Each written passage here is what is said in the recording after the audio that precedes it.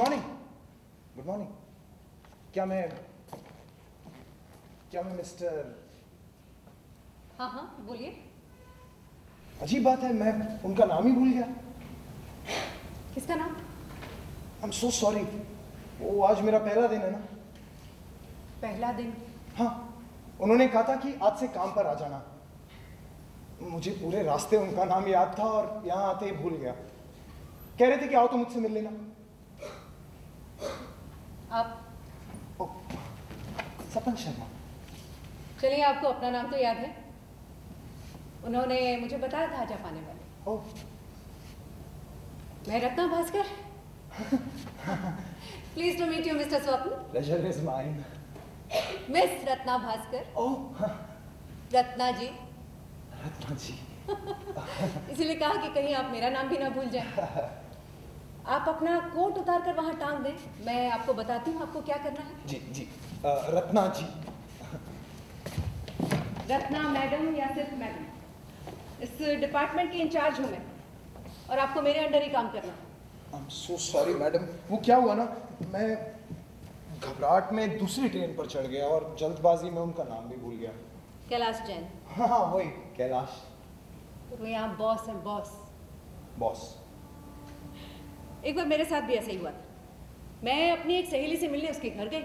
उसके घर का दरवाज़ा खटखटाया तो कोई और ही बाहर निकला। पूछने लगा, किससे मिलना है? नाम ही याद नहीं रहा। पूछने लगा, दिखने में कैसी लगती है? गोरी है, काली है, मोटी है? क्या बोलूँ? मर्दों के सामने मुझे औरतों के जिस्म के बारे में बोलना अच्छा नहीं लगता। बिना मिले ही चली आई। तब से मैंने तय कर लिया कि जिससे आप बात कर रहे हो बीच बीच में उसका नाम लगाते रहने से उसका नाम कभी भूलता नहीं। अरे वाह, ये तो बहुत अच्छी एडवाइस है, madam. It's a good business etiquette as well. बल्कि अच्छा तो ये रहेगा कि दूसरों के दिमाग में अपना नाम रजिस्टर कराने के लिए बीच बीच में अपना नाम भी लेते रहना चाहिए। अ, मैं तो ऐसा ही करती हूँ। जैसे कि मेरी माँ बोली रत्ना तू मेरी बात सुन। मैंने कहा माँ जब से पैदा हुई हूँ आप ही की तो सुन रही हूँ। फिर मेरी माँ बोली रत्ना पर तू करती तो अपने मन की है। अब तो मैं आपका नाम कभी नहीं भूलूँगा। चाहे मेरी ये नौकरी कल ही छूट जाए। कल तो नहीं छूटती पर अगर इसी तरह रोज लेट आए तो ज़्यादा दिन नहीं चल पाएँगे। हमारे बॉस पंक्चुअलिटी के बड़े कायल। समझ लो महात्मा गांधी के एडमायर अच्छा। वैसे मैं उन्हें आज के बारे में कुछ नहीं बताना thank you thank you so much madam यकीन करो मैंने नहीं कहा था कि मुझे सुपरवाइजर बनाइए। ये मुझे अच्छा भी नहीं लगता है कि दूसरों पर सुपरवाइजरों की तरह हुक्म चलाती फिरूं ये करो वो करो। मैं मैं कितना खुशकिस्मत हूँ कि मुझे यहाँ नौकरी मिल गई और आप जैसी सुपरवाइजर भी और एक बात मुझे मस्केबाजी भी पसंद नहीं है। अपना टिफ़िन दे दीजिए मैं फ़ाइल कैबिनेट में रख देती हूँ। मैं अपना भी वहीं रखती हूँ। ये बैग भी दे दीजिए। नहीं बैग लेने दीजिए। क्यों? इसमें क्या है? कुछ खास नहीं बस एक दो किताबें हैं। किताबें या मैगजीन लाइए लाइए इन्हें यहाँ पढ़ने का वक्त नहीं मिलेगा। उन्होंने देख लिया तो कल की नौकरी आज ही चली जाएगी।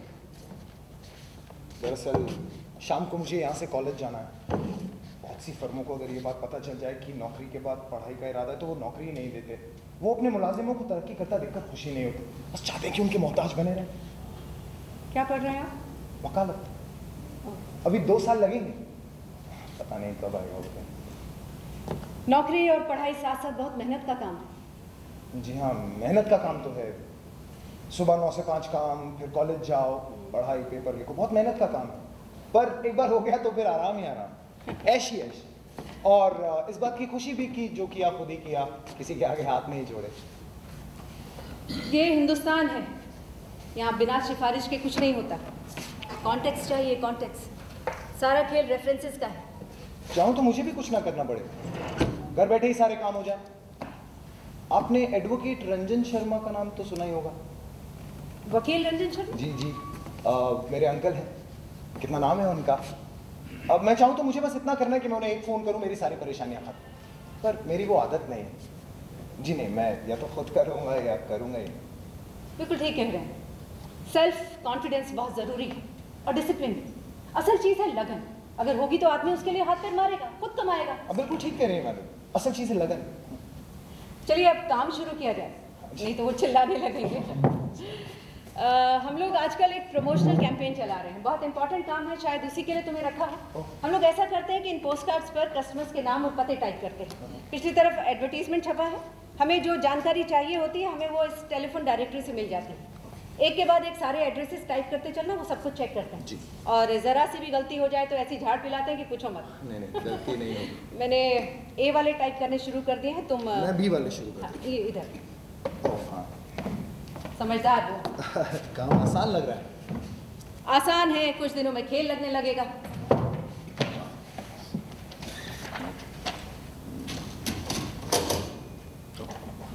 सॉरी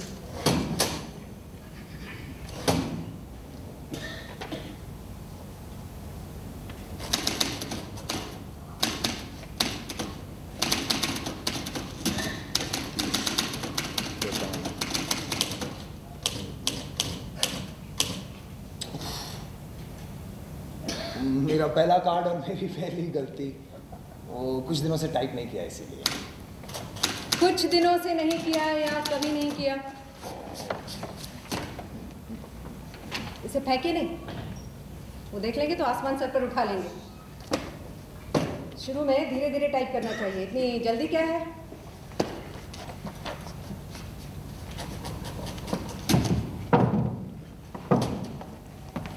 पीछे होकर बैठो। जी।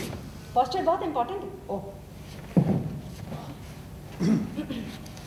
कीज पर उंगलियाँ इस तरह से रखो जैसे उन्हें प्यार कर रहे हो।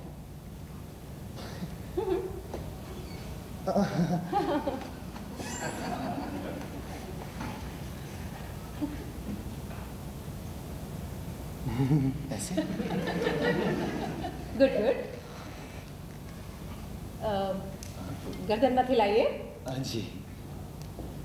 नज़र टाइपिंग मटेरियल पर। ओह आप कितनी अच्छी है मैडम जो मेरी इतनी हेल्प कर रहे हैं। It's my pleasure Sapan. Sapan. Sharma. ये मेरे लिए है आमतौर पर इतनी जल्दी बुलाते नहीं। आप अपना काम करते रहे शर्मा जी। उन्हें अगर टाइपराइटर की टिप टिप सुनाई नहीं देती तो उनके कान खड़े हो जाते हैं।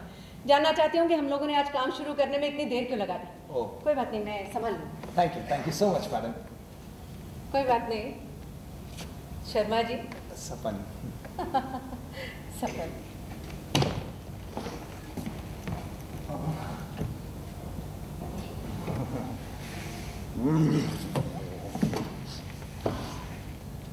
सिंह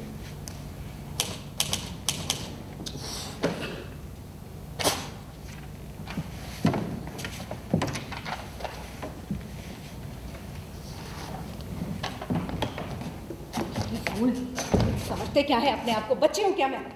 मीठा बोलने का कोई फ़ायदा नहीं। मैं जा रही हूँ। क्या अरे हद है। पाँच मिनट देर से आई हूँ तो मुझ पर चिल्ला रहे हैं। तो आप भी देर से आए हैं? ये हंसने वाली बात नहीं मिस्टर शर्मा। अगर आपने किसी कंपनी को दस साल दिए हो ना और कोई आपको इस तरह से ट्रीट करे तब आपसे पूछूँगी किस तरह रिएक्ट करोगे। कहा मेरा टिफ़िन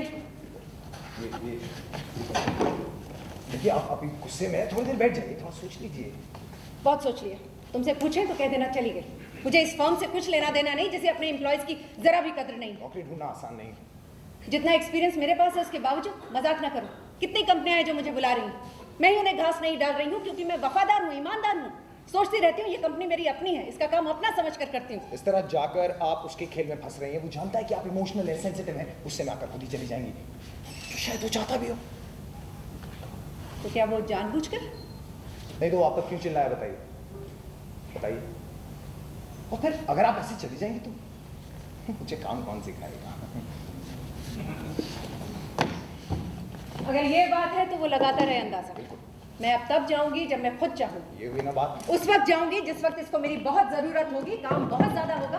और ये गिड़गिड़ा कर कहेगा रत्ना जी कल ही ऑर्डर एग्जीक्यूट करके देना है। प्लीज़ रुक जाइए मेरी मदद कर दीजिए। और तब मैं हंसूँगी। मैं कहूँगी नहीं मुझे जाना ही। तो हाथ जोड़ेगा मैं कहूँगी पहले नाक रगड़। काश मैं भी देख सकूँ वो नज़ारा नाक। शादीशुदा है? शादीशुदा? कौन करेगा इससे शादी? गंजा भालू लगता है। गंजा भालू? आई कैन इमेजिन हमारे यहाँ तुमसे पहले एक औरत काम किया करती थी। वो इसके कार्टून बनाकर भेजा करती थी। बेनाम। अगले दिन आके कहता पता नहीं कौन जाने गुरिल्लाओं की तस्वीरें बनाकर मेरे घर के पते पर भेजता है। हमारी पिछली बॉस थी महिला वो चश्मा लगाती थी। ये मोटे मोटे शीशे।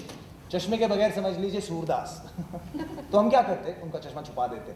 अब उनके पास चश्मा नहीं होता तो हमें काम ही नहीं दे पाती। हमारी मौज हो जाती। पूरे दिन बैठे रहते और गप्पे मारते। पता है इसकी नौकरी कैसी थी? कैसे? पहले तो गुरिल्लाओं की तस्वीरें बनाकर बेचती थी। बाद में इसकी मेज के शीशे के नीचे चाँद के शेर लिखकर छोड़ने लगी। कभी कोई गाना चाँद फिर निकला मगर तुम ना आए। चाँद सी महबूबा हो मेरी कब मैं तो बड़ा खुश हूँ। हाँ। सोचने लगा शायद इश्क चल रहा है। वाह। टेढ़ा टेढ़ा चलने लगा। बाद में जब उसे पता चला कि चाँद से मतलब उस चाँद से नहीं उसकी गंज से है तो उसे नौकरी से ही निकाल दिया।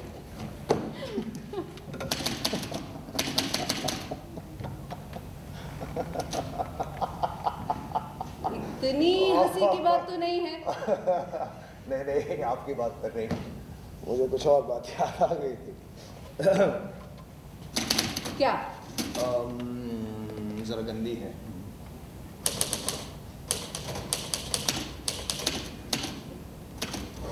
क्या? रहने दीजिए मैडम। बोला मैंने गंदी है। क्या? सुना मैं ऑर्डर देती हूँ। हम बचे नहीं। ठीक। हमारे एक और बॉस थे। लड़की देखी नहीं कि लाट टपकने लगती थी। लड़की की बॉडी फोकस करने के लिए चश्मा ऊपर नीचे करने लगते थे। मैं उनसे कहता, सर, आप ये क्या करते हैं? अपनी उम्र देखिए। आपकी उम्र परमात्मा में ध्यान लगाने की है। ऐसे चक्षु चुंबन करते आप अच्छे नहीं लगते। तो कहते, भाई, देख लेने दो, देख लेने दो। थोड़े दिनों में आँखों में मोतिया उतर आएगा, फिर कौन देख पाएगा देख लेने दो, देख लेने दो। आपको शायद अच्छा नहीं लगा।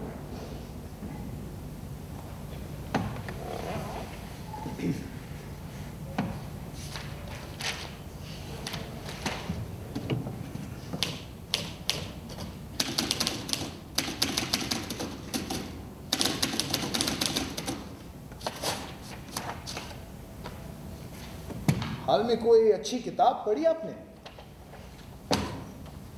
हाँ एक जासूसी नॉवल पढ़ा था। नाम था मर्डर इन बॉम्बे ओह मुझे भी जासूसी नॉवल बहुत पसंद है।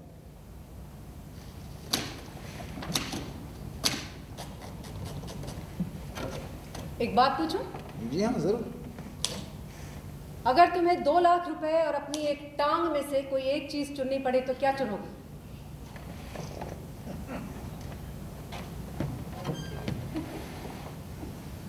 दाई है बाई?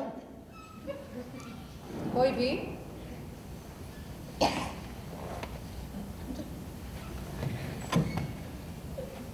टांग तीन लाख चार लाख पाँच लाख। दस लाख मिलेंगे तो ले लो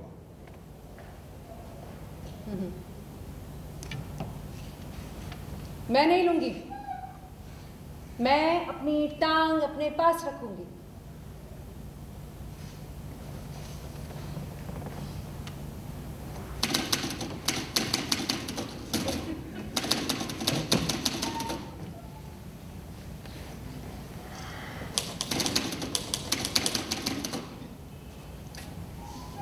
मैं मैं कभी भी टाइपिस्ट बनना नहीं चाहता था। मेरे पिताजी चाहते थे। वो भी टाइपिस्ट थे एजीसीआर में अकाउंटेंट का दफ्तर। जब मैंने हाई स्कूल किया तो बोले, अब टाइपिंग सीख लो, अपने ही दफ्तर में कहीं लगवा दूँगा। माँ बोली, नहीं, अभी और पढ़ाना है। मैंने कहा, खूमचा सर पे रख के घूम लूँगा, सब्ज़ी बेच लूँगा, पर टाइपिस्ट नहीं बनूँगा। सारी ज़िंदगी बैठ के टाइप पर टाइपिस्ट टाइपराइटर पर टिप टिप टिप टिप करते रहो। वो कहते, तरक्की करते करते एक दिन स्टेनोग्राफर हो जाओगे। मैं कहता स्टेनोग्राफर भी तो टाइपिस्ट ही होता है। जिसने एक बार टाइपराइटर पर टिप टिप करना शुरू कर दिया, वो सारी ज़िंदगी चाहे कुछ भी बन जाए, उसकी मेंटालिटी उसकी सोच टाइपिस्ट की ही रहेगी। वो टिप टिप करते हुए ही मरेगा मैं इस रट में पढ़ना नहीं चाहता। तो कहते कोई भी काम हो रोज रोज करो तो रट ही लगने लगता है। अपनी माँ से पूछ लो रोज रोज खाना बनाना क्या रट नहीं? सूरज से लेकर चाँद सितारे सब रट में टाइपिस्ट की तरह। हमें लगा था कि हाई स्कूल करके कुछ काम वाम करोगे, घर की हालत सुधर जाएगी। माँ और उनमें रोज बहस होती। दोनों हमेशा झगड़ते ही नज़र आते। मैंने उन्हें आपस में प्यार से बात करते हुए कभी नहीं देखा। ऐसा लगता था जैसे कभी भी अलग हो जाएँ। पिताजी कभी गुस्से में आकर बाहर चले भी जाते। मुझे लगता अब नहीं आएँगे। बहुत रात हो जाती। और तब मुझे गली में दूर खंबे की रोशनी में एक साया दिखाई देता और वो आ जाते। एक दिन बोले, मैं भी सोचता हूँ इस रट से निकल जाऊँ, इस घर गृहस्थी से। मैं कभी उन्हें देखता, कभी अपनी माँ को।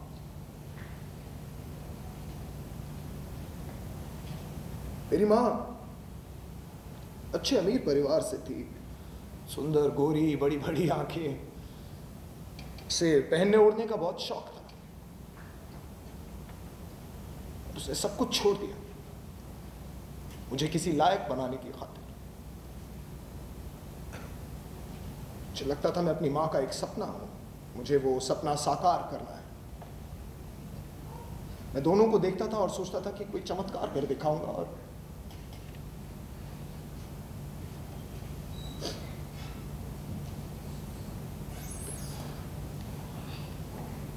चमत्कार हो गया। एक दिन पिताजी डीटीसी बस के नीचे आ गए और चले गए।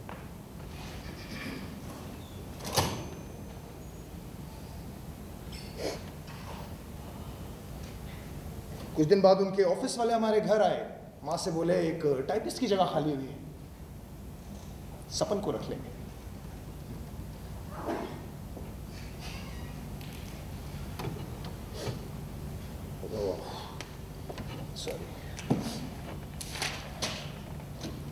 हमारे घर में पैसे धेले की कमी नहीं थी।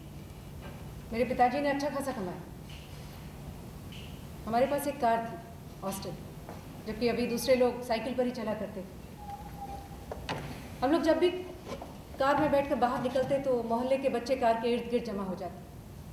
और खिड़कियों से झाँक कर अंदर देखते कि हम इसी ग्रह के प्राणी हैं या किसी दूसरे ग्रह से आए। मेरे और मेरी छोटी बहन के बीच अक्सर झगड़ा हुआ करता कि उनके साथ अगली सीट पर कौन बैठे वो रोने लगती, जिद ही पकड़ लेते। पिताजी मुझे समझाते रत्ना, तू बड़ी है, तू मान जा। मैं सोचती, बड़ा होना क्या जुर्म है? क्या उसे अपनी मन की करने का कोई हक नहीं? मैं सत्रह साल की थी जब मेरे पिताजी का देहांत हो गया। उनकी मौत के बाद घर की ज़िम्मेदारी मुझ पर आ पड़ी। आ क्या पड़ी? मैंने ही कहा, माँ, घबराओ नहीं, मैं ज़िम्मेदारी उठाऊँगी।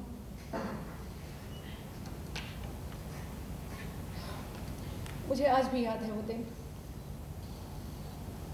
जब पिताजी का देहांत हुआ था, उन्हें कैंसर था, बोल नहीं पाते थे। बस मेरी तरफ़ देखते रहते मुझे लगता आँखों ही आँखों में मुझसे कह रहे हैं, रत्ना, मैं जा रहा हूँ। तू बड़ी है, समझदार है, मीना छोटी है। मैंने भी कह दिया, जब तक मीना की एजुकेशन पूरी नहीं हो जाती, मैं शादी नहीं करूँगी। कोई लड़का पास आने की कोशिश भी करता तो पहले ही समझ जाता।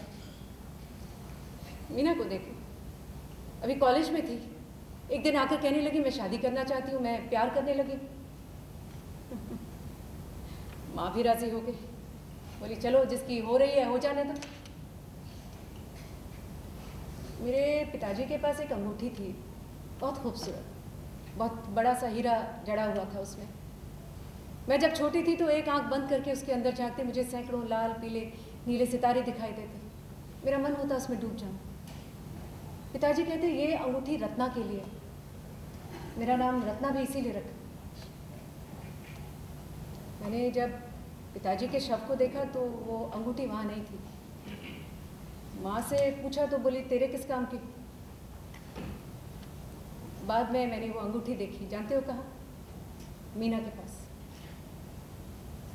माँ से पूछा तो बोली, तेरे पिताजी मीना को दे गए हैं। ज़रूर वो उनके पीछे पड़ गई होगी।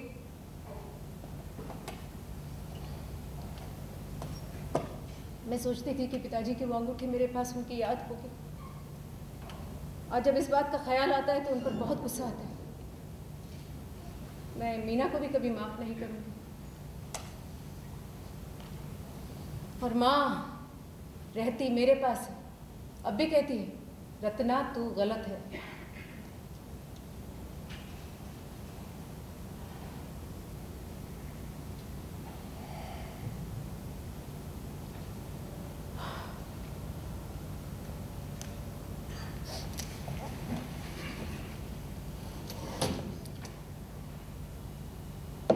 तुम सिनेमा देखती हो?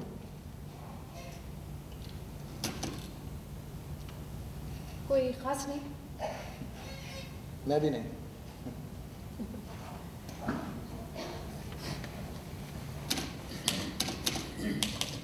टेलीविज़न देखते हो? नहीं मुझे वक्त ही नहीं मिलता। सुबह काम फिर कॉलेज आपको पता ही। पर अ, सपना बहुत देखती है। कौन सपना? मेरी बीवी। पूरा दिन बस यही करती है। मुझे मालूम नहीं था तुम शादीशुदा हो।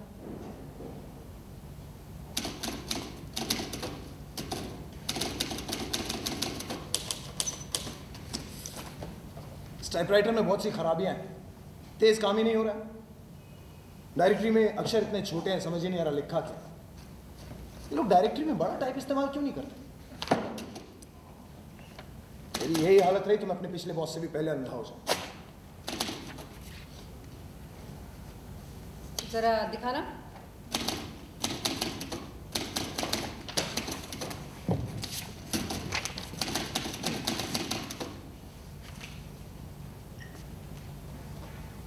अब ये तो मिटाया जा सकता था। हमें कागज़ खराब करना पसंद नहीं है। ये हमारे ऑफ़िस की पॉलिसी है। ओ, आप नाराज़ ना हो मैं कर दूँ। मैं नाराज़ नहीं हो रही हूँ। इस डिपार्टमेंट में जो कुछ भी होता है वो मेरी रिस्पॉन्सिबिलिटी है। मैं तुम्हारी गलतियाँ ढक ढक के तंग आ गई हूँ। असल मैंने कभी टाइप ही नहीं किया ना। तो करो। कर तो रहा हूँ। जिस तरह एक उंगली से टिप टिप कर रहे हो सारी ज़िंदगी टाइप करना नहीं आएगा। सारी उंगलियाँ चलनी चाहिए। बाज़ार में तरह तरह के वर्ड प्रोसेसर आ गए हैं कंप्यूटर्स आ गए हैं ये लोग अभी भी टाइपराइटर पर लगे this is a basic boss का कहना है पहले इस पर टाइप करना सीखो। सीधे कंप्यूटर पर शुरू होगे तो काम कम करोगे खेलोगे ज़्यादा। आदमी को सबसे पहले टाइपिस्ट होना चाहिए। सुन लो टाइपिस्ट अगर तुम अच्छे टाइपिस्ट नहीं हो तो कुछ भी नहीं हो। कीज पर उंगलियाँ खरगोश की तरह दौड़नी चाहिए। ऐसे।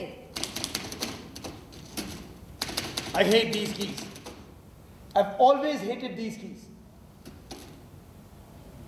मुझसे नहीं होगा। रहा तो जाओ मुझे परवाह पड़ी। वो भी चाहते हैं तुम अपने आप ही चले जाओ। और जहाँ भी जाओगे पहला सवाल होगा टाइप आती है स्पीड क्या है? जिस स्पीड से टाइप करोगे ज़िंदगी में उसी स्पीड से आगे दौड़ोगे।